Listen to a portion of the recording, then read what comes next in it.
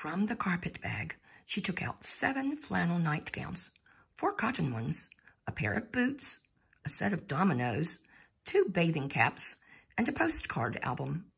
Last of all came a folding camp bedstead with blankets and eiderdown complete. And this she set down between John's cot and Barbara's. Jane and Michael sat hugging themselves and watching. It was also surprising that they could find nothing to say.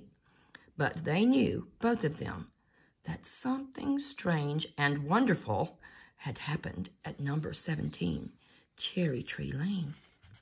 Mary Poppins, slipping one of the flannel nightgowns over her head, began to underdress underneath it as though it were a tent.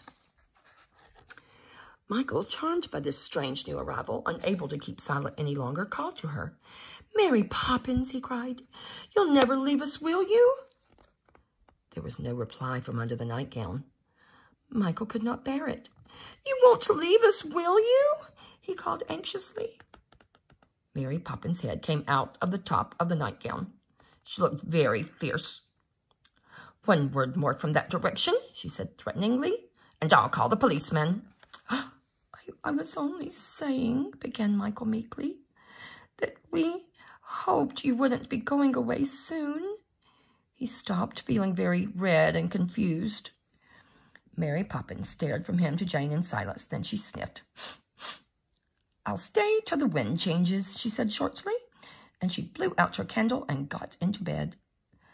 That's all right, said Michael, half to himself and half to Jane. But Jane wasn't listening.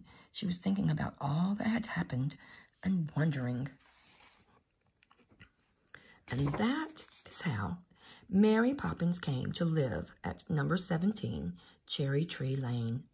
And although they sometimes found themselves wishing for the quieter, more ordinary days when Katie Nanna ruled the household, everybody on the whole was glad of Mary Poppins' arrival. Mr. Banks was glad because, as she arrived by herself and did not hold up the traffic, he had not had to tip the policeman. Mrs. Banks was glad because she was able to tell everybody that her children's nurse was so fashionable that she didn't believe in giving references. Mrs. Brill and Ellen were glad because they could drink strong cups of tea all day in the kitchen and no longer needed to preside at nursery suppers. Robertson Ay was glad too because Mary Poppins had only one pair of shoes and those she polished herself.